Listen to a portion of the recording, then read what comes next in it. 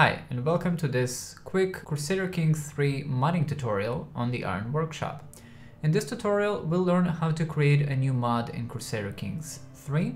This is the basic structure of your mod and the initial files you will need in order to start creating a mod for the game. To create your Crusader Kings 3 mod files, you'll need to start the Crusader Kings 3 launcher from Steam. Once the launcher has finished loading, you'll need to click on All Installed Mods, then click on Mod Tools, and then click on Create a Mod. In this window, the first thing you will need to do is to name your mod. So for the purpose of this tutorial, I will just name it the test mod.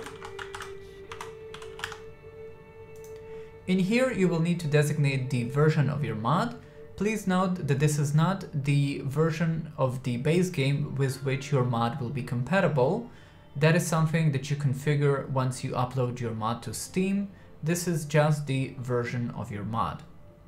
So I will just give it the 0.1 version.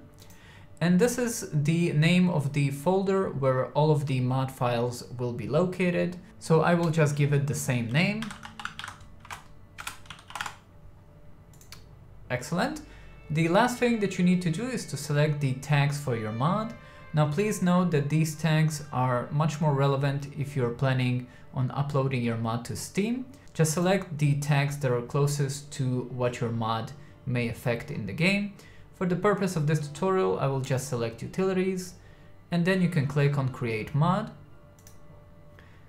once that has been done, the mod has been created and automatically activated by the game launcher. You can see that in playset. You see that the test mod has been activated. And now you can start creating your mod and putting in files and changing the game. So that is all you need to do in order to start modding Crusader Kings 3. Thank you very much for watching this tutorial. If you found it helpful, please give it a like so that others can see how easy it is to start modding Crusader Kings 3. And I will see you in the next one. Bye bye.